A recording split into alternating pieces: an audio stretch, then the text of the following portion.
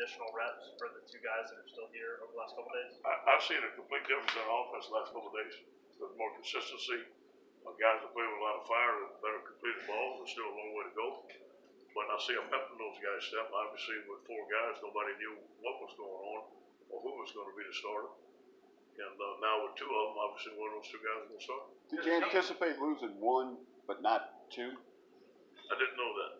I didn't know what was going to happen. I knew there was a possibility of losing two. Uh, I didn't think we'd lose them this early. And obviously, all of them were still in the race. But there was a pecking order given, and obviously they chose to leave. Does it help refine your offense now, maybe a little bit more streamlined what you guys need? Yes, yes. And now we have two weeks. Uh, look at what Joe can do, look what Myles can do. And streamline the plays that we, we're running. Uh, and rep the, rep the plays that they can run. So I think it's, it's a positive in a lot of ways. Does it put you always, had you always looked at this date as a cutoff date after the first scrimmage? That was- No, no, there wasn't, there was, there was no cut there was no decision made. There was grades given out, just like every other position, and, uh, that was the, those, those guys' choice, they chose to do it. Does it put you guys at a disadvantage now that teams don't have to game plan for a guy like Lowell? Uh, I don't know that, you know, uh, there's some different things that we can do with those guys that they don't know about, so. They were probably knowing if Lowell went in, these, these are the things that he could do, because I've been talking about it. So I think that there's gonna be some stuff that they haven't game plan for, that either Myles or Joe can do. Did not Garrett work at center at all? So excuse me again. Has Garrett worked at center at all this week? You know, he, did- he has worked at center through, uh, some walkthroughs. Uh, he was out today with a slight injury, so he couldn't do it. But he's gonna have to take some snaps at center in case something happens.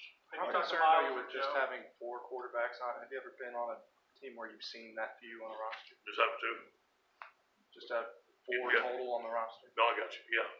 Well, I'm concerned with having two guys on, on a scholarship. You know, but I do believe that Andre and Jordan will be, uh, capable backups, we can train them. And obviously, we have to keep those guys healthy, but that, that is a concern. Have you- have you Moss, Moss, and Jefferson, I know they've missed the last couple of days, any of them with extended injuries? That Yeah, is- they were not on practice today. Do they have extended injuries, or? I think, I think Jefferson should be back sometime this week.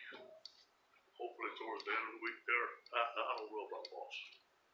You talked about pass rush, is that their particular skill set that these guys are kind of bringing forward, or is it more because Dave can get deeper in his book? What was your last question? Is it because Dave can do more with, the, with because they have more experience, more knowledge? I think it's a combination. The ability for Dave to scheme of protection and blitz it is the best I've ever seen. And And also, the combination of the speed that we have at outside linebacker and the techniques we use on pass rush, I think those are two combinations. Ed, are you kind of concerned about your offensive line? Y'all had nine scholarship guys. I mean, kind of getting like last year where you, But, you know, it's, it, it's always a concern. I, I think we're a lot stronger than we were last year. And I know the job that, uh, Coach Grimes did last year with those guys, I thought were fantastic. I do believe that, that Coach Cregg will do just as good a job this year. Have you tried Hines some and, Hines and? Traore, are, are they long-term? Second. again? Hines and Traore haven't been around for a few days. Yeah, yeah, yeah, I think, uh, you know, there's some protocol with Hines. We gotta go through a process. It, it takes a while. He should be back by the beginning of next week, hopefully. And also, but Dar, Dar